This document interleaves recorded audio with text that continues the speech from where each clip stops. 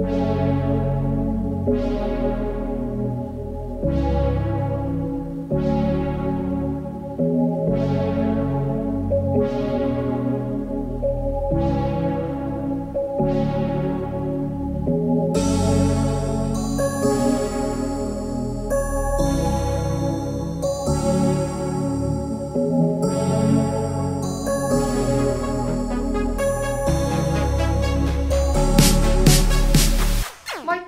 Tulin tänään kertomaan mun Oslon matkasta. Mä olin siis tammikuussa Lontoossa ja nyt mä olin Norjassa, Oslossa. Ja nämä matkat eros silleen, että mä olin silloin Lontoossa yksin ja tällä kertaa mä olin kaverin kanssa matkassa. Mä teen erillisen videon siitä, että mä vertailen yksin matkustelemista ja jonkun kaverin kanssa matkustelemista. Mutta mä haluan kertoa pari asiaa Norjasta. Eli mä olin Oslossa ja mä olin siellä neljä yötä. Norja on siis kallis maa, mutta me saatiin edestakainen lento 39 euroa, joten ei edes paha. Ja hotellikin oli tosi halpa, me saatiin se myös alennuksesta. Ja se hotelli oli ihan superhyvä, siellä oli niinku niin hyvä se aamiainen, että mä en kestä. Se oli ihan niinku taivaallinen. Me ei voitu syödä edes joka päivä ulkona, koska siellä maksaa niin paljon. Me käytiin vaan kaksi kertaa ja kerran me tilattiin hotellille ruokaa Foodoralla, koska miksi ei. Muuten me käytiin sitten kaupassa ostaa, vaikka kaupassakin maksoi ihan törkeen paljon kaikki ruoka.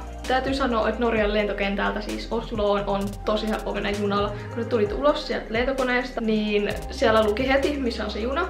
Ja nyt mä sanon yhden pinkin, älkää ottako sitä fly, fly to, toget tai sitä lentokenttäjunaa, vaan ottakaa sellainen kuin NSP, koska se on puolet halvempi, se on vaan 10 minuuttia hitaampi, joten kansi todellakin ottaa se ns. hitaampi juna, mutta se on paljon halvempi. Täytyy sanoa, että Norjassa on ehkä vähän paremmat valikoimat kuin Suomessa, niin kuin kauppojen suhteen, vaatteissa ja tälleen. Mutta mä en hirveästi ostanut vaatteita, vaan mä ostin enemmänkin sellaisista sisustuskaupoista, koska Norjassa sisustuskauppoja on ihan järjetön määrä. Niissä on ihan törkeen ihania kaikkia tuotteita. Ja Oslon kaupunki on tosi pieni silleen, että se, sitä voi verrata Helsinkiin. Eli siellä on tosi helppo kävellä. Me ei kertaakaan matkustettu julkisilla, koska siellä pääs kävelee ihan helposti paikasta toiseen. Sitten täytyy vielä sanoa pari vinkkiä, eli kansi mennä tosiaankin tänne kukkuloille. Mä laitan tohon sen paikan nimen, mä muistan sen nimeä. Ja sitten me käytiin sellainen kuin Weekend Park, vai mikä se oli, siellä on sellaisia patsaita. Mä kirjoitan sitä kans tuohon, koska mä en muistanut nimiä. Sitten yksi ehoton lempparipaikka oli kanssa Åkerbrücke, eli se on niinku satama. Ja siellä oli niin ihanaa, mentiin kattoo sinne yksi ilta auringonlaskuun ja se oli niinku... Se oli perfect.